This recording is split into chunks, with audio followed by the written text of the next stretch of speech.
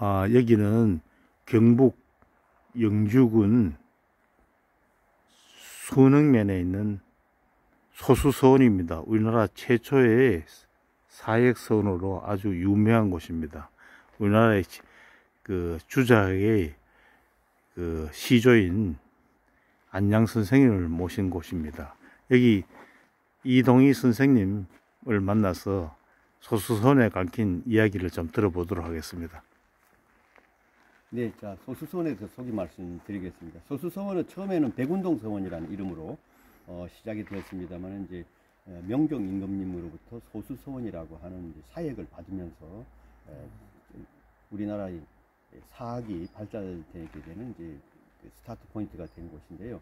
어, 서원은 전체적으로 이제 제향 공간과 예, 그다음에 강학 공간, 예, 그다음에 이제 유식 공간 이렇게 세 군데로 나눠져 있습니다. 근데 지금 보시는 이 곳은 우연히도 이제 네 개의 간판이 가지는 그 굉장히 깊은 의미를 이렇게 보실 수 있는 그런 위치가 되겠습니다만은 보통 이제 그 유학을 공부하는 학생들을 유생이라고 하는데 유생들의 이제 최종 목적은 이제 어, 군자가 되는 것입니다. 이제 주장하게 있어서 이제 최고의 경지에 이르는 건데 여기 네 개의 간판을 이렇게 우연히 보시는데 여기 지락제와 에, 학구제는 이제 에, 처음에는 이제 에, 그 학생들의 기숙사가 되겠습니다. 그래서 여기 지락제라고 쓰여져 있고 학구제로 쓰여져 있는데 뭐 제라고 하는 것은 이제 서재라는 말에서 알 수 있습니다만 이제 작은 방이나 집을 얘기하는데 지락은 이제 독서지락에서 온 말이 되겠습니다. 그래서 학생들이 책을 읽는 것, 예, 지식을 습득하는 것이야말로 지고의 즐거움이다 이런 뜻이 되겠고요.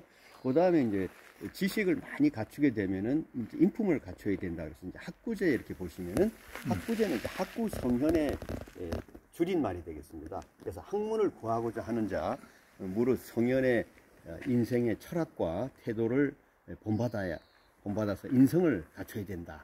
이제 여기서 이제 2단계를 한꺼번에 보실 수 있는데요.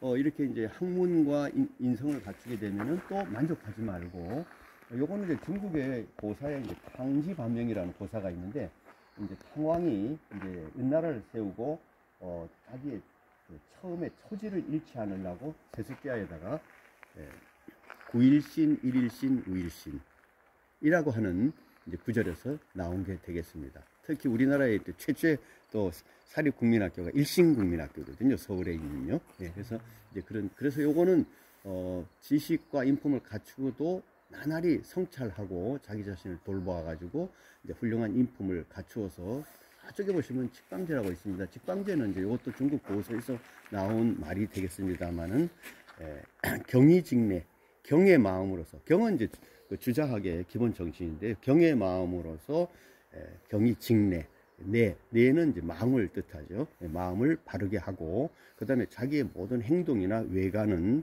의의 방해 의로서 밖에 행동을 반듯하게 방정하게 하라는 그런 메시지로서 유생이 군자로 예, 말하자면 그 업그레이드 되어가는 과정을 우연하게도 이 네 개의 현판이 아주 그 운면적으로 예, 전해드리고 있다고 말씀드릴 수가 있겠습니다.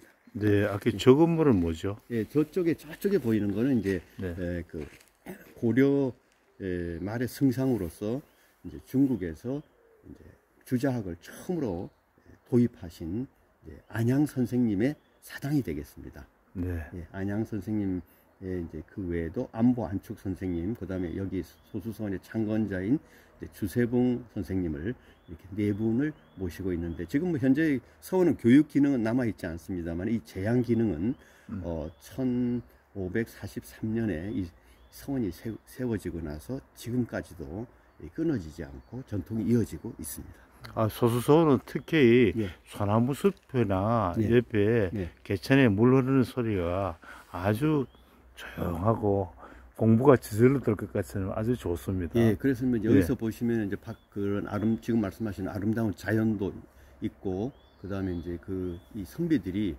대자연과 우주를 바라보면서 후연지기를 키우라는 이제 그런 메시지가 네. 어, 여기에 있다고 볼 수가 있겠습니다. 네, 예. 감사합니다. 네.